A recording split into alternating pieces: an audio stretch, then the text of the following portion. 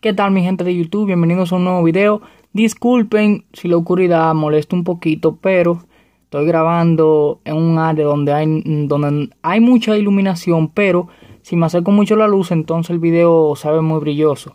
Así que por ahora soportenme ahí. Este video yo lo hago simplemente para contarle la historia de uno de los peores días de mi vida. Eso pasó el día antes y el día en que vine para acá, para Estados Unidos.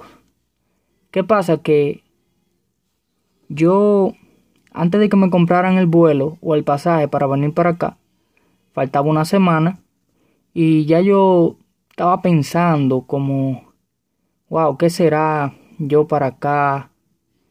¿Qué será de mi gente? Yo dejarla allá, en República Dominicana y bueno, no le di mucha mente. Dije, no, yo voy a ser fuerte, yo lo voy, yo voy a, a superarlo con normalidad. El día antes, ya yo notaba la tristeza de la gente. Ya notaba que la gente como que me trataban de una manera, o sea, tan buena, porque yo venía para acá, entonces seguramente iban a durar mucho tiempo sin verme. Y ahí me empezó a darle un poquito. Ahí sentí como que de verdad la presión de que yo venía para acá y que me iba a sentir muy triste. Ok, llegó el día, en la mañana, me levanto, no me cambio de una vez, pero tengo mi mente un poquito bloqueada porque me sentía muy triste. Me sentía muy triste y empezaron a llegar amistades y familiares también. Roldan, Ignacio, Ana Luisa que estaba allá todo el tiempo conmigo, mi Herling, Rafaela, Alondra, tío, Ed, tío, eh, tío Héctor, Melba, William, toda esa gente que estaban allá esperando a que yo me fuera. También estaba Michael, que te me fuiste, Michael, te fuiste sin decirme nada en la pasola, pero tú eres de los míos. Entonces ese día fue un día que de verdad yo nunca me había sentido así. Yo nunca me había sentido así. Yo no sabía que las despedidas eran tan fuertes. No sabía que eran tan dolorosas. Yo estaba que cada segundo que yo pensaba en que yo venía para acá, era una lágrima por cada segundo. Mi, mi tío que vive al lado, que fue el que nos llevó al aeropuerto, yo recuerdo que él enciende su camioneta y la deja un rato encendida en la mañana. Entonces él se despierta y enciende la camioneta. Y yo dije, diablo, ya la encendió. Ahí fue que yo me puse más nervioso, porque yo sabía que casi no íbamos. Ay, ay, ay, ay, ay. Cuando pasó el rato y el rato, yo dando vueltas de aquí para acá y de allá para acá, y bebía agua, y bebía agua, y bebía agua. Y era así, mudo, mudo, mudo, mudo, mudo. Y cuando ese hombre empezó a sacar la camioneta, a mí se me salieron las lágrimas. A Londra se le salieron las lágrimas.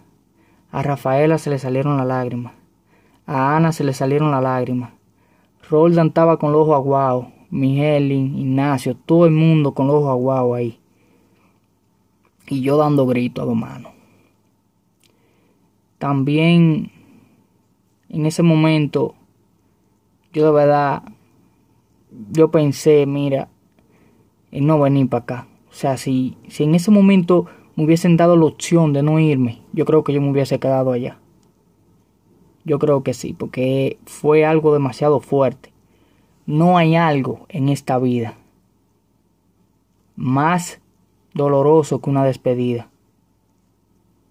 No hay algo más doloroso que una despedida.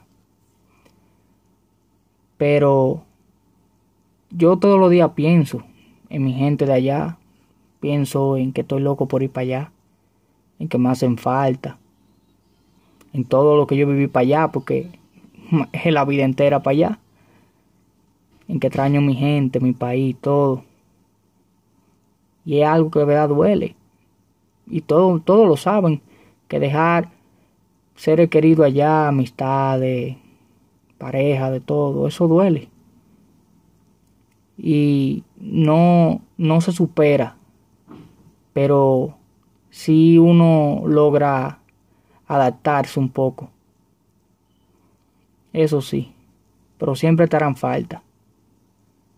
Este video tal vez no tenga ninguna música de fondo, tal vez no tenga ningún tipo de edición, porque no tengo computadora todavía para editar, en el video anterior lo dije, pero simplemente quería contarle esta, esta breve historia del día antes y el día en que vine para acá, para Estados Unidos. Fue algo doloroso, mi gente. Si ustedes saben, suscríbanse al canal, comenten, compártanlo con sus amigos. Pronto tendrán video más decente, ¿ok? Editado y de todo. Así que ustedes saben, saluditos para todos. Y hasta luego. Ay, recuerden este carrito. bye bye. Ay.